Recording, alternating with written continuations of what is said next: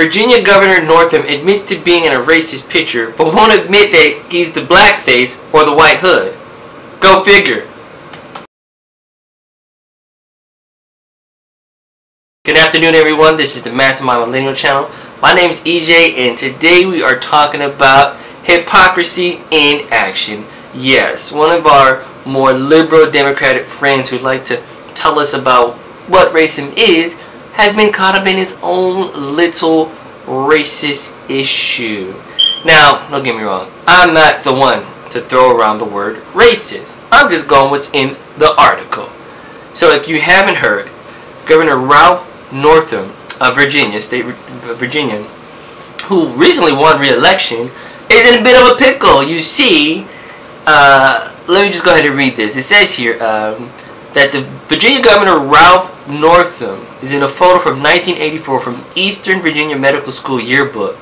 But he did not identify who he was. He said, I'm in that picture, but I can't tell you which one of those racist people I am. Uh, okay, Ralph, whatever. Anyway, he admits that he's in the picture. Um, the this is not funny. I have a nervous laugh. I don't mean to laugh, but take a look at this picture for yourself. See? You see that? I actually think that Governor Northam is the guy in the hood because that's the lesser two evils. The blackface, you might get away with it, but wearing a hood, that is probably not going to cut it. So he's like, I'm not telling you which one I did, but I'm very, very sorry. Believe me, I'm so sorry. Let me keep being your governor. Let me win your trust back.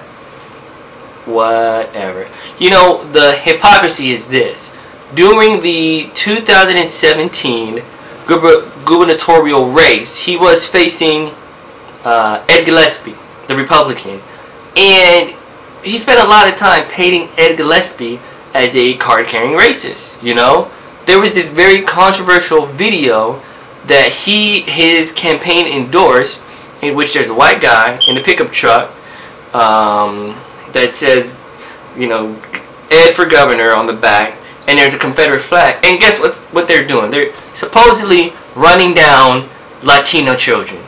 Now that was low. However, there are multiple tweets from that same year where Governor Northam is calling out Ed Gillespie for being racist. Check this out.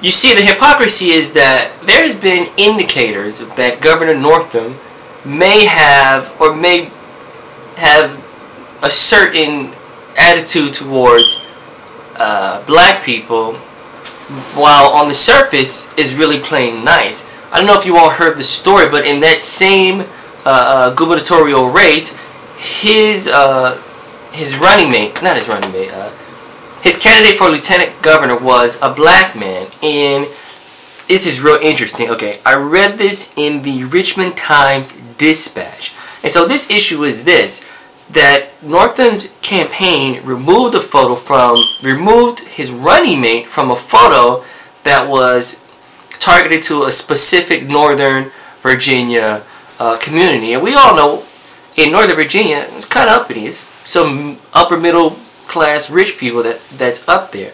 So this article is from October 17th, 2017 from the Richmond Times Dispatch. I'm just going to read this paragraph. It says, The campaign of the Demo Democrat, the Democratic gubernatorial candidate Ralph Northam printed some flyers that excluded a picture of a ticket mate, Justin Fairfax, to accommodate a union that has endorsed Northam but not Fairfax. See, interesting enough that you can have this black man on your ticket to win you votes, but you cannot have him on your flyer for a specific community. For what reasons? I can't read minds. But it looks pretty suspicious. Look. This is funny. In in Fairfax County, there was no picture of Fairfax on the ticket. Fair enough? No, not really. Alright, last, what I'm going to talk about? Um, you can see all the, the, the, the tweets from that same year. Um, you know, this is just, this, this is hypocrisy. Like, let's just take a step back and look at Kavanaugh. Kavanaugh was accused of some very egregious crime. Some people say he gang raped others. Uh, Christine Blasey Ford said that he sexually assaulted her. So, but he was on trial for sexually assaulting Christine, who didn't have a lot of hard evidence and who did not remember a lot. Here, we have clear hard evidence of the Democratic governor of Virginia, you know, doing something that is very distasteful and disparaging to a whole entire community. The evidence is there, but the outrage isn't. This is what I call a double standard. This is hypocrisy in action. So what do you think? Kavanaugh was excoriated based on testimony from a very young girl who didn't remember much. We have a picture from the school who gave it very willingly. And then we have a governor who admits he did this. Where's the outrage? There is no outrage. If you look at Twitter, like, oh, he needs to step down, but we want to give him a chance to forgive him. This, these two things do not add up. So what do you think? Should we give him a second chance? Of course we should give him a second chance. That is the Christian thing to do. The, is he fit to hold office? Maybe so, maybe not. But you know, the truth does come out. The truth does come out. And it does say a lot about your character. Can people change? Definitely people can change. I'm just ranting about the hypocrisy. At least we now see it for what it is. Hey, this is the Mastermind Millennial channel. I'm EJ. Until next time, be